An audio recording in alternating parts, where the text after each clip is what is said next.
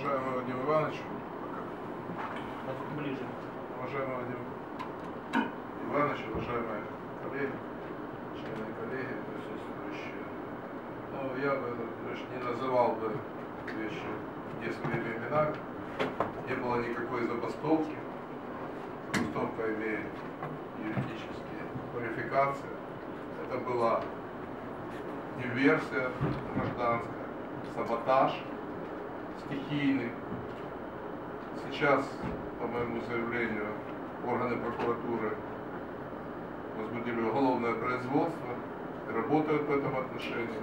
И все зачинщики этого действия и люди, действовавшие бандитскими методами, били стекла, резали шины, угрожали сжечь автомобили, специальные группы были созданы.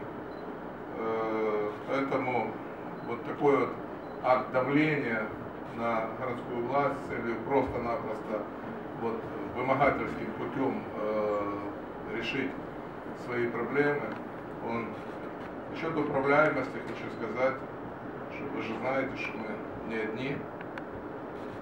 Город Николаев это областной центр, еще у нас масса городов, областных центров, и все мы подвержены одним и тем же проблемам. Я думаю, что здесь солидарная ответственность. Когда жиженый газ в течение одних суток вдвое становится дороже, когда он становится 16 гривен от 8, ну я там по копейкам не называю, а у нас 70% автотранспорта на жиженом газе, то естественно гораздо легче разжигать подобные вещи. У нас нет резерва жиженого газа, который мы можем выдавать. Завтра будет проведено заседание исполкома городского совета, в котором будет принято ряд решений. Мы давно уже совместно с Вадимом Ивановичем разрабатываем планы по реформе э, работы пассажирского транспорта в городе Николаеве. Обсуждаем эти вопросы. Нами уже проведена не одна презентация, в том числе и по вопросу организации общего диспетчерского пункта на основе установки GPS-навигаторов и э, приобретения целого пакета программного обеспечения. Мы уже сейчас э, имеем возможность не презентовать, а заниматься уже непосредственно этой работой.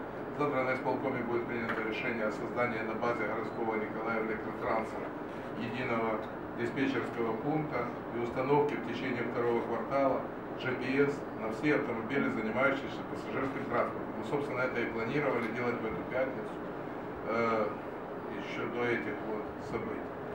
Э, я бы сказал, что вот эта вот акция была жестко отрегулирована, и все вышли куда надо. И никто не поддался ни на какой шантаж, и на вот это вот давление.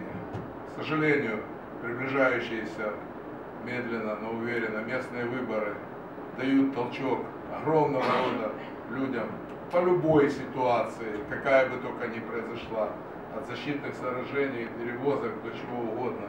Вот, раскачивать эти вопросы, здесь надо четко и конкретно действовать. Завтра же будет принято решение об изъятии маршрутов у предприятий-перевозчиков, которые допустили срыв этой ситуации, на которой есть еще достаточное количество различного рода аргументированных жалоб, актов, выявления пьяных водителей и водителей в состоянии наркотического опьянения, хамского отношения к водным перевозчикам и так далее. Эти маршруты будут изъяты. Завтра будет объявлен конкурс, который в течение законодательного периода, в течение месяца будет проведен.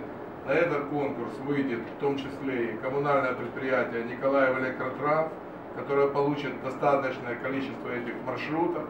И кроме этого мы будем регулировать другую систему взаимоотношений с возчиками, которые на этом рынке уже находятся не одно десятилетие, одни и те же лица, которых я вот увидел к вечеру. Да.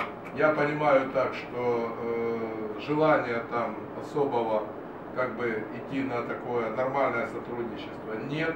Я думаю, что с их молчаливого согласия, это как минимум, все это происходило, даже если они не занимались организацией этих вещей. Но органы прокуратуры, органы внутренних дел, мы работали совместно с городским управлением полиции. Спасибо, Виталий Васильевич, я на вас отправлял, вы так быстро отреагировали на все, и оперсостав ваш уже занимается этими вопросами. Выявлены будут все, и все понесут заслуженное наказания в соответствии с действующим законодательством. Здесь самое важное, что люди должны видеть следующее. Всяко, конечно, может быть, но на поводу ходить у одного за другим никто не будет, чего и не случилось. Завтра будет же отрегулирован тариф. Реально сегодня 15 гривен 80 копеек примерно стоит сжиженный газ. Это вдвое больше. Ну, сколько стоит дизельное топливо, тоже всем известно. Однако мы же понимаем прекрасно, что пенсии, заработные платы, минимальные и так далее урезаны, заморожены. Поэтому никто не пойдет на поводу у возчиков. И тариф будет отрегулирован. Во-первых, он будет дифференцированно регулироваться. Во-вторых, он будет регулироваться поэтапно, в зависимости от э, ситуации, которая будет складываться на рынке горюче-смазочных материалов. Э? Э, И э, в связи с этим тариф э, не будет э, той цифры, которую нам тут диктует. Никаких 5 гривен, 4,50 и так далее.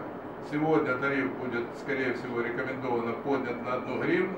Мы отработали это с возчиками. И дальше поэтапно, дифференцированно будем работать и э, улучшать работу общественного транспорта в областном центре в городе Николаеве. Просто мы в этом вопросе в течение очень многих лет безнадежно отстали. Дело не только в управляемости, но и в системе перевозок. Количество маршрутов будет оптимизировано. Сегодня у нас более 90 маршрутов, у нас останется э, 60 маршрутов, а второй этап, я думаю, до 50 маршрутов, как мы говорили, что даст возможность лучшего системного управления этим процессом и договорные отношения оформления водителей на работу.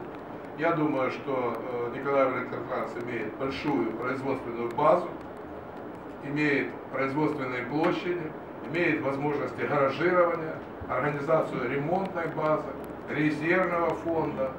Мы взяли э, по опыту несколько городов. Эта акция не как бы натолкнула нас на это, мы работали в этом направлении, но сейчас эта работа будет очень жестко проконтролирована и усилена. В том числе, естественно, будут сделаны и кадровые выводы по поводу той фразы, которую вы назвали неуправляемостью. В некоторых аспектах, наверное, ви, як то кажуть в Україні, маєте рацію. Спасибо.